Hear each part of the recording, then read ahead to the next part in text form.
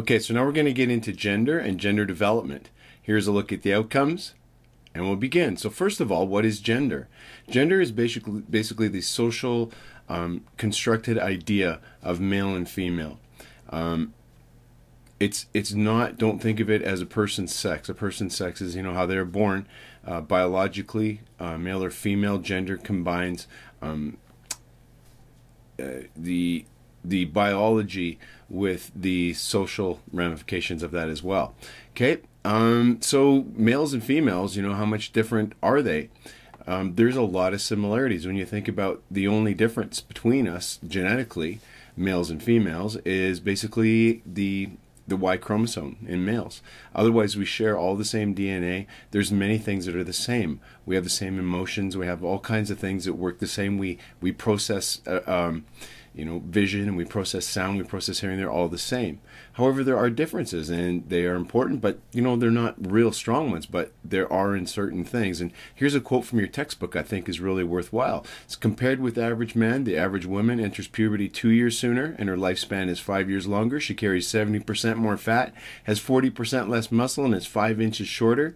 She expresses expresses emotions more freely, can smell fainter odors, and is offered help more often.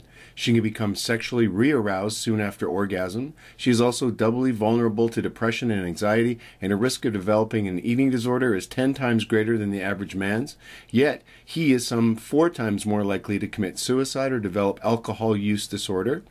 He is also more likely to be diagnosed with autism spectrum disorder, color blindness, attention deficit hyperactivity disorder as a child, and antisocial personality disorder as an adult. Choose your gender and pick your vulnerability. So there's vulnerabilities for both males and females. And really the changes aren't that huge, but there are differences. Okay, and we're going to look at differences in a few areas here. One is aggression. So when we talk about aggression, this, these are acts that are either physical or verbal that are intended to hurt or destroy someone. Um, and there's definitely a difference when we look at the aggression. Aggressive acts carried out by males are much more overt. They're much more um, often they are more physical. Um, they're they're more aggressive. Um, female kind of will act out aggression. You know, when we start to look at uh, what they do is when you know like the things like ostracism and using you know mental kind of abuse as as their outlet for aggression find you know they're probably just as aggressive but it's in a in a different kind of format look at social power in most situations, you know, if we put a group of people together uh, in a jury, for example, it's often a male that will take a lead role. The males tend to take a position of dominance um, in social situations.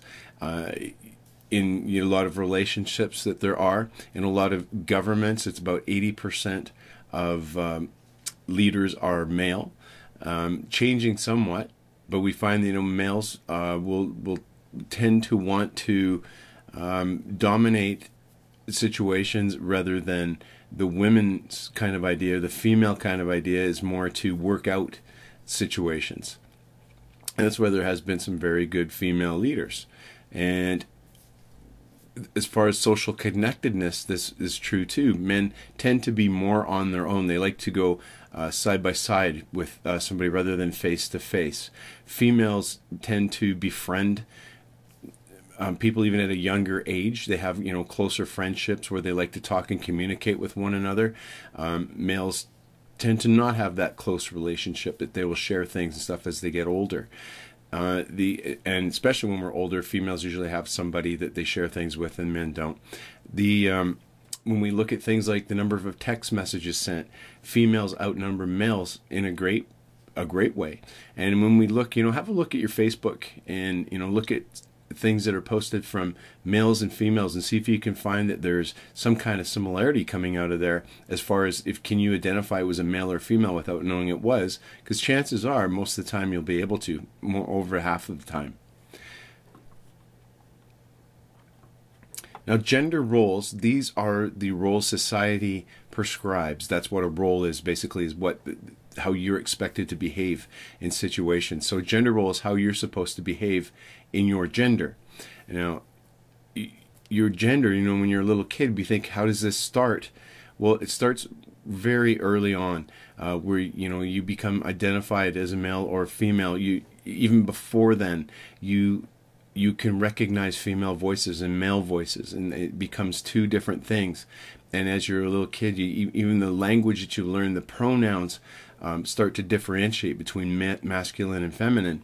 And little kids want to find out more about it. How are we supposed to be? So they will, you know, like little scientists will go seek out, you know, what are the things? If I'm a boy, how am I supposed to behave? If I'm a girl, how am I supposed to behave?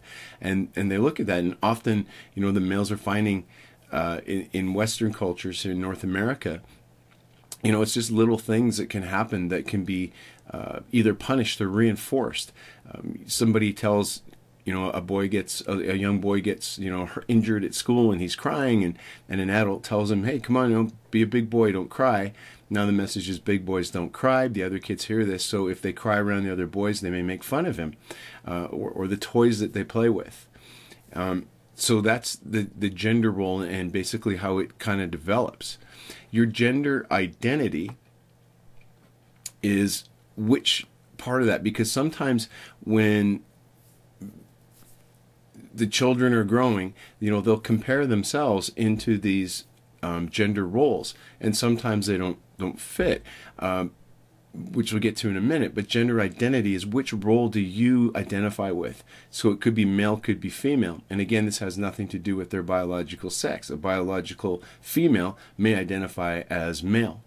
And this process is called gender typing where we we take on these ideas and the little kid becomes a scientist or the little person becomes a scientist and, and decides you know which which gender which kind of does he fit into which is he identify with.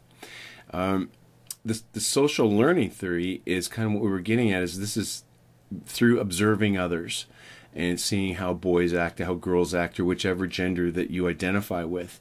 And then the um, you know the operant conditioning works on that. If you were punished for that behavior or you're reinforced for that behavior you're likely to continue on with that behavior. Now transgender is a term that we use um, to encompass basically all that their gender identity doesn't match their um, their biological um, sex. So uh, we can have all the way from intersex to um, you know, like for example, cross dressers. Most cross dressers happen to be male dressing as female, and, and actually most of them, most of them though, with their sexual orientation, which is, has nothing to do with anything of these things we've talked about. The sexual orientation of many of those male cross dressers is they are attracted to women, so it, it can be all all different. Um, you know, uh, girls can identify as male female can identify as male and be attracted to female. They could be attracted to both sexes. It could be attracted to males. Um, it, they're, they're separate things, and there's many different combinations that are out there, and transgender is the term that we kind of umbrella all of them out. What about parents and, and your early experiences and your friends that you have? Well, we do know er, early experiences do shape your brain. This is a famous Rosenzweig study where they had rats. He had rats, and you know, you measured their, their the brain cell, and we look at the connections of the rats. And so, one rat you would have living in what he called an impoverished environment where there was basically just food and water and the rat grew he was bored he had nothing to do whereas the other enriched environment is like a little rat party house where you know they've got all the stuff they need they got toys they got other little rats to interact with and then after a time they look at their brain cells and they found that those kids or those rats brain cells that were in the enriched environment were much more developed than the impoverished environment rat, which is quite important. It's changed how we deal with a lot of animals uh, in in farms, laboratories. Um, it also kind of tells us, you know, as human beings, for our children, we it's very important to give them stimulation and age appropriate toys to help them develop their their brain cells. And we know, um, like children that have learned a a fretted instrument or a stringed instrument, you know, before the age of eight, can they learn it and put it away don't even touch it again until they're 30 and they'll learn it much faster because it's made an imprint in their brain. Um, this is a picture of a brain that shows kind of how our eh, practice uh, this is a finger tapping thing and as they practice it you can see there are more connections made. You can see right here this is the original and then now these connections are made which makes that finger tapping more trained becomes more efficient and this is how our brain changes all the time. So when we're looking at, you know, when we have the the parents, obviously your parents have a lot to do with you, um, but how much credit and how much blame do they deserve for what goes on? You know, parents are really quick, you know, to put on that bumper sticker that my kid's a, a um, honor roll student. Uh, you know, they're willing to take the credit for that, and they're willing to feel really bad when their children don't do well. You know, ones that get suspended from school all the time. But you know, how much that actually has to do with the, the parents. And what it finds out is parents usually take way too much credit for the good things and they take way too much blame for the bad things that happen because there are many other influences. We find from birth on, um, the environment only plays about a 10% role in the personality of the person um, even from the same family, you know, from right from birth. So about 10% is all. So there is some influence, but it is not a great influence. There's many other things that go into the to a personality. So parents shouldn't take as much credit and they shouldn't take as much blame. The peer influence is is big. Um, we know when you're a little kid, if you don't like to eat some kind of food, you're more likely to eat it. If we put it down in front of a bunch of kids that enjoy that food, you're likely to eat it. So you pay attention to them. You know, your peers influence all those things to get along socially. They they influence, you know, like the the clothing you wear, um, the the activities that you take in. They influence many things. Your parents, on the other hand, um, they influence more big ticket items, uh, your your values and your you know what you've you feel about education your, and your morality and, and all of those you know bigger ticket items. Whereas your friends will influence a lot of the, the smaller things which are important as well. So in adolescence the physical and cognitive development that occurs adolescence by the way is that time when uh, we go from puberty into adulthood. And this time has been stretched out where you know people your age have a great deal of time as an adolescent um, because we are maturing earlier and we can't be independent um, as early as we used to because of, of social problems, um, financial and, and, all those types of things. Uh, when puberty hits, um, the markers, you know, for puberty, uh, it's not a matter of the where they unfold, and we'll give you a list of, of exactly how these things unfold, uh, in what order. You know, for example, with girls, you know, it's breast buds and so and so on. Um, it's more a matter of when. We find that males generally mature on average two years later than females do. Females, you know, generally 11 to 13, males 13 to 15 is where puberty often hits. Actually, 13, 11, and 13.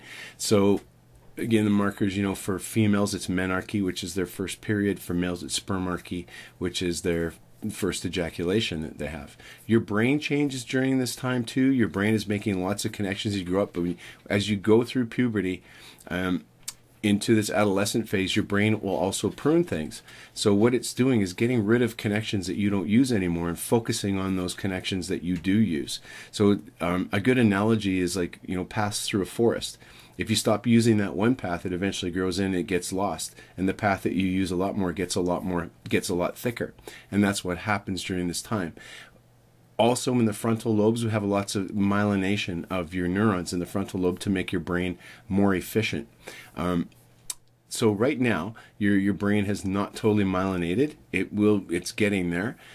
Uh, however, this might be why adolescence, the, the limbic system will develop sooner with all your emotions and all those kinds of things, which can explain, you know, some of the, the adolescent bad decision and, and being spontaneous and, and you know, acting out. Um, because the, the frontal lobe is not developed enough to withhold the information from the limbic system. You're kind of like a little Phineas Gage almost. Not quite as severe, but along those same ideas. Okay, so we're going to leave it there for now, and we'll be back next time with another video. We'll catch you guys later. Bye for now.